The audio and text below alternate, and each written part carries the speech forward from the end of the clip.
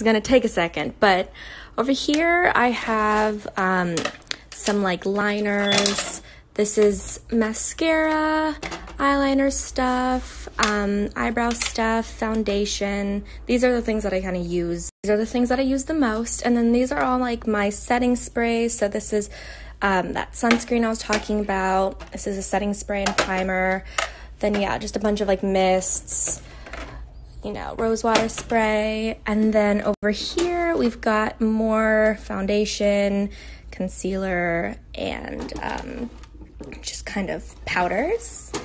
And then this is all my highlighters and bronzers. And we have blush. And then we have, this is like all of my flat eyeshadows. And then in here we have all of my, you know, um, eyelash stuff, curler, whatever. And then these are all my glittered eyeshadows. I clearly have a ton, so needed the whole thing for that.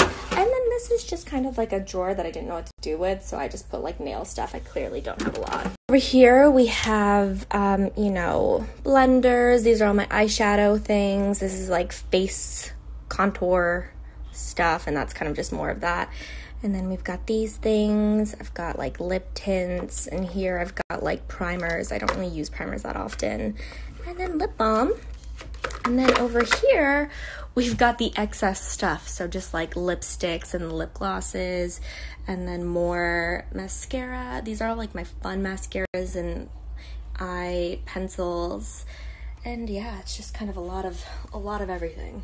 I'm pretty bad at organizing, so I had to have Eric help because without him, I would have had just shit everywhere.